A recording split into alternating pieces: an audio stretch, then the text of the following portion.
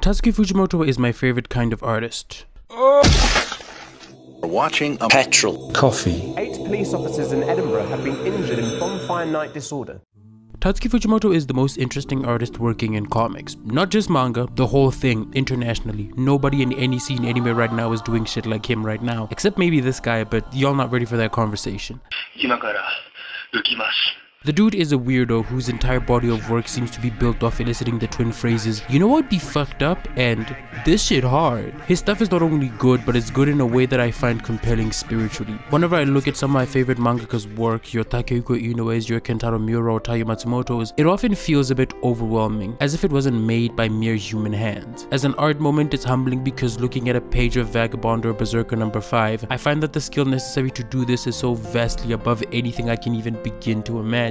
I am both awestruck and humbled in its presence. It's what I imagine Musashi felt like when he got pump faked by that old guy in his sleep. I would not be pressed if Takehiko Inoue never drew a single page of Vagabond again. The fact that I'm able to witness this story up to this point is an honor I refuse to take for granted.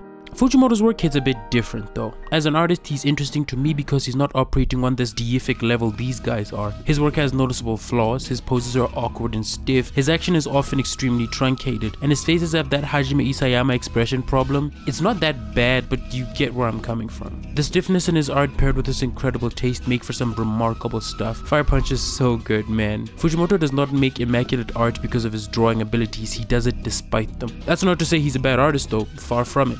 The man has an eye for design that you simply cannot teach. Conventional character design wisdom airs somewhere on there. Your characters should tell a story, everything about them should serve to build a memorable character, and then Fujimoto just has a raw concept and puts that shit on paper, unrefined, undiluted. I think back to this Yuji Kaku interview from three years ago. Uh, Yuji Kaku is Fujimoto's former assistant and the guy who made Jigokuraku and Ayashimon. It's really good, you should read it. In it, he describes how Fujimoto's design practices differ from the average mangaka. If Fujimoto sensei and I were to draw the same subject, I would think about how to convey my favorite aspect in the most uncomplicated way, resulting in the addition of detail. However, Fujimoto sensei would simply draw out his favorite things just as it is.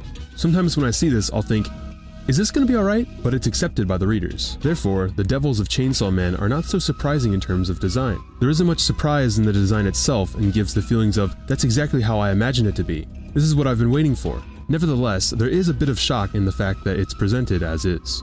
It takes a lot of courage to do that, right?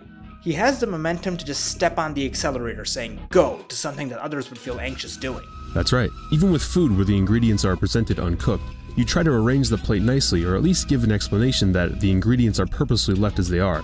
But Fujimoto sensei doesn't do this. I really admire him for that. Even with post-transformation Denji's design, usually you'd think to add a bit more. The fact that he's got the handle as his head is a very Fujimoto sensei thing to design. Normally when designing a monster with a chainsaw, you'd focus on the blades, but in the case of Fujimoto sensei, the tool itself is propped on to be the head. Also, the difference in design between Fujimoto sensei and me is the way he incorporates elements of comedy into his designs. When I design, I will always stick to what I think is cool, and that's my weakness. Fujimoto sensei's designs will include my favorite aspects of design, but also a large amount of comedy in it. This can also be applied to the story. That's what I really look up to. The man is built in an atypical fashion. I mean, look at this Captain America. This shit looks like it came straight out of Warhammer. This is a natural evolution of America as depicted in Chainsaw Man, as an empire built by death worshippers. An altar whose entire population has been placed upon as a sacrifice for the gods of the S&P 500.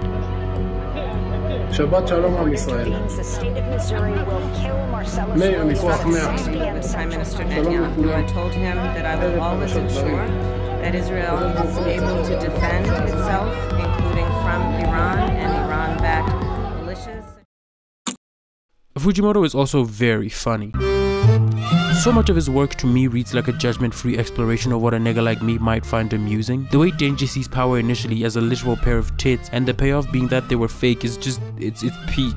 It's peak. His characters are often crass and brutal and just utterly hopeless. The grim humor of his work is sold both by his stilted characters and his incredibly rendered gore, which looks, he, it looks so good because he draws it in such hard shadows under black sprays of blood. His violence is stylized in the same way that Tarantino's is, and most of that good shit wouldn't come out if he just wrote it and abdicated the drawing to a more conventionally skilled mangaka. It's the same as Attack on Titan in that sense, like I mentioned earlier. Hajime Isayama couldn't draw a three-quarter angle face to save his life, but those weird stiff faces do wonders when he's trying to express fear, or when he exaggerates them in his depictions of the Titans. They are kindred spirits in that way, two men forced into greatness by the limits of their ability to express themselves. Art that isn't great doesn't always mean you're gonna fall short of your goal as an artist. It's just another limitation in the art making process, and limitations are one of the most important aspects of making art.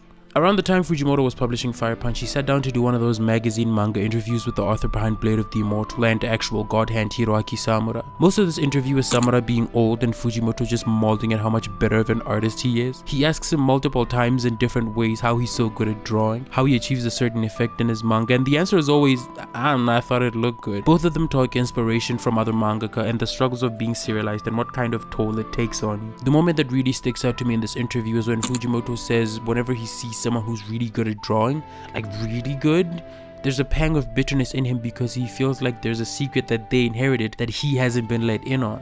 When I see a good artist, it makes me think that they must be cheating somehow. Like they got to redo their life or something, or else it wouldn't be possible to achieve that level of skill. There are a few people I think of like that, and you're number one. Another one is Kim Jung-gi sensei. I feel like they all must have sacrificed something in their lives to get more time to draw. It's really interesting that the example he uses here is Kim Jung-gi, which, like, yeah, that, that dude is different. There will never be another Kim Jung-gi. But in the wake of greatness, we are all still left with stories to tell and the drive to make them. Kendrick Lamar has like five songs about this. Our limits frame our subjective experience and our art can only exist under those two things. Even Takehiko Inoue, god hand he may be, still had terrible days. Look Back is a semi-autobiographical short about Fujimoto's existence as an artist. We follow a middle schooler named Fujino who enjoys the gratification of being the most skilled artist in her school. Her comic strips in the school newspaper are the best art anyone in her year has seen from an age mate, until a younger student who doesn't really come to school starts publishing alongside her. People are so impressed by how much better she is than Fujino that it spurs Fujino to strive to get better. She even does the dreaded how to draw good Google search. That shit defined my life from ages 12 to 18. But no matter how good she gets, she's never good enough. The truant Kyomoto is still drawing laps around her.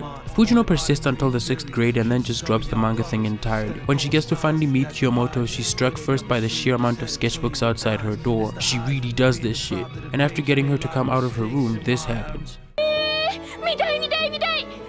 There's levels to this shit. My readings are surface level and the cool media literate YouTube guys are making fun of me in private group chats. So much of what I get reading look back is this guttural feeling of that's real as fuck. But my singular art struggles are not why we're here. The thing that stood out to me about this story is that these characters are both Fujimoto. Like literally. Fujino's art in the comic strips looks one for one like Fujimoto's early one day draft one shots he would blast out when he was submitting manuscripts daily in his early 20s and late teens. And the better art is him as of now. It's not only a man frustrated with his limitations, seething over others who are much better at this than he is currently, it's him in conversation with his former less skilled self. The only thing Fujino can focus on is how much better Kyomoto is than her, and in that she ignores how much better she's gotten in the process of trying to improve. And the moment she's faced with the fact that she's her biggest inspiration, it frees her from this prison of, ooh, I hate this nigga, bro. He not even that good. How the fuck did he do that? She walks home and instinctively starts dancing. It's also not lost on me that this moment of Fujino's artistic liberation is one of Fujimoto's best drawings ever. There's levels to this shit. Present day. Present time. Lain is a psychological thriller about a girl who goes on the computer and then discovers that we are all connected. Everything is everything. McKenzie Wark's game space, cyberspace dichotomy is biblical text, and death is not the end. But before she can become the ghost in everybody's machine, she starts out lonely and isolated. This finds expression in the show through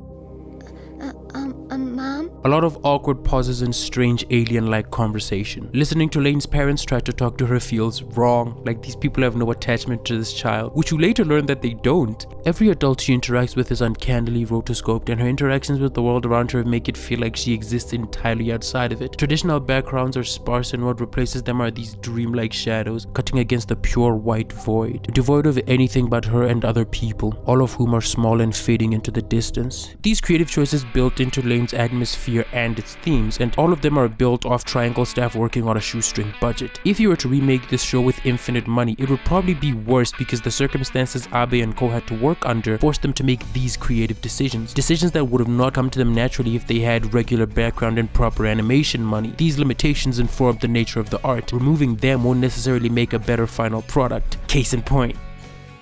Wrong with these niggas. Handshakers looks like shit. In fact, I'm gonna get even more annoying about this. The act of creating art itself is built upon limitations. To condense down your imagination, your abilities of perception in 3D space to a two-dimensional plane with any degree of recognizability demands you omit some information. Perspective is informed as much by what you don't see as much as what you can. I cannot speak for abstract work for I'm neither experienced nor good in the subject, but for the shit I have done, limitations are everything man. Just because your timeline has 24 frames doesn't mean you're gonna use all of it. Most of the time, I am not a very good animator, as evidenced here. Some movements just hit better if you cut up some of the information. Painters choose how to direct your eye by sparing detail in less important areas, or just placing details in a manner that's so sparse but is cohesive in the whole. Even philosophically, as an artist, to make anything at all is to build in limitations. Perfection doesn't exist and anyone who's ever tried to tirelessly chase it has never finished anything because it isn't perfect. The art can only exist once you pull it from your perfect ever expanding imagination and extrude it through your flawed flesh, death prone physical body. That makes it real and allows other people to interact with it. I'm not interested in the version of Chainsaw Man in Tatsuki Fujimoto's head, even though to him, in his mind's eye, it's probably better than anything he could put down on paper. But the fact that he put it onto paper makes it real. It suffuses it with his flaws and awkward anatomy and jokes in the backgrounds of pages and Denji's fucked up loaf sneakers and that's my shit. That's the thing that me and millions of other people love. It's in his unabashed love for cinema and manga that endures despite his suicide ideation inducing work schedule that then inspires his composition and writing. Writing that could only come from a man this strange. That love and creativity devoid of judgment being put into strenuous practice makes all of his work feel precious and special, like I'm peeking at the dark unseemly insides of a man's mind. Shout out to his editor who gave him boxes of DVDs and manga to read when he started submitting one-shots, he's the, the real hero here. He saw this socially maladapted 17 year old with some creativity in him and immediately knew that he needed to put him in front of as much art as possible, really refine his insanity. It's probably why whenever anybody asks him for advice about how to become a mangaka, he replies with, get Netflix.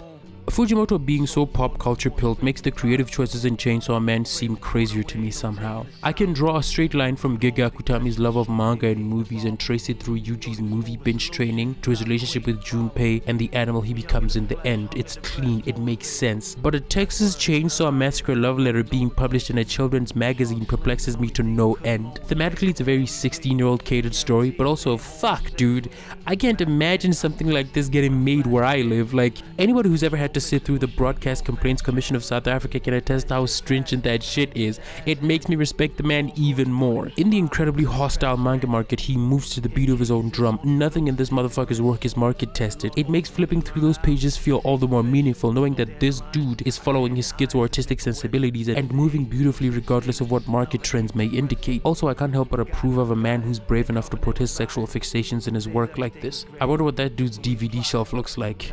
I bet it's crazy in there.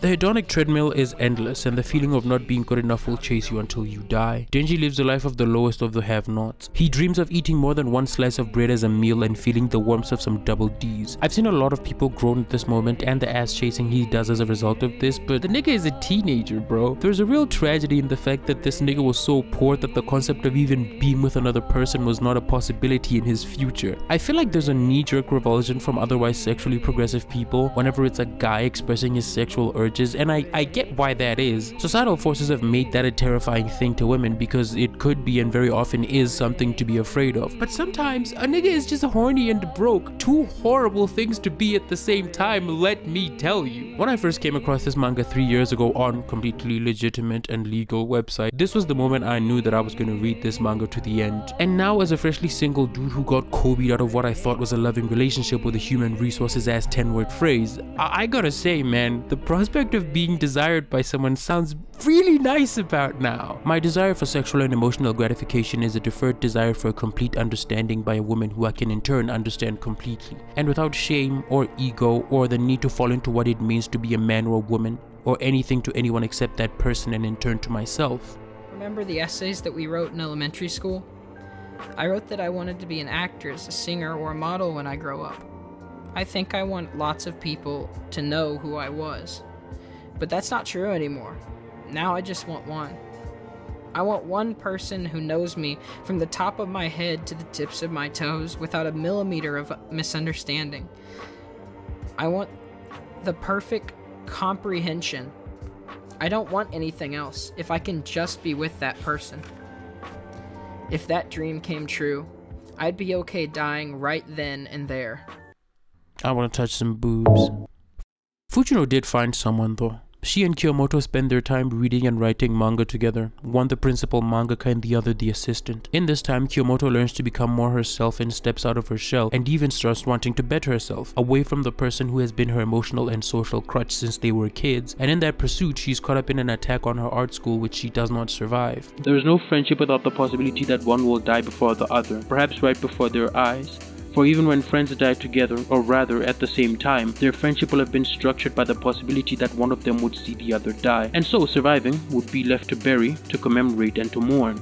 So to live with love is to put in yourself in a position to be hurt, and it hurts real bad, man. It struck me while I was writing that boob section earlier that Denji has never been loved. His daddy killed himself. These niggas damn sure didn't love him and Makima isn't capable of love. I think the only people who ever loved this nigga are Power and Aki and we both know how those ended. Also, his mom died of cancer? Holy shit.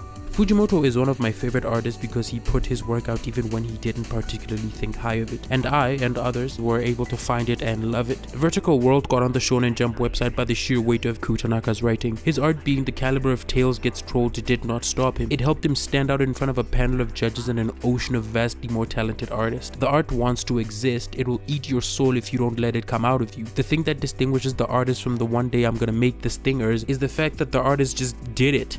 If your heart desires to make art, make it. Do it consistently and without drama. Put enough of yourself out there and eventually someone will find it and see some part of themselves in it. That's what I get when I open Fujimoto's manga and that's why he's one of my favorites. Uh, thank you for your time. If you thought this was good and want more, uh, like and subscribe. I need to learn how to say this without sounding awkward, man. But yeah, thank you.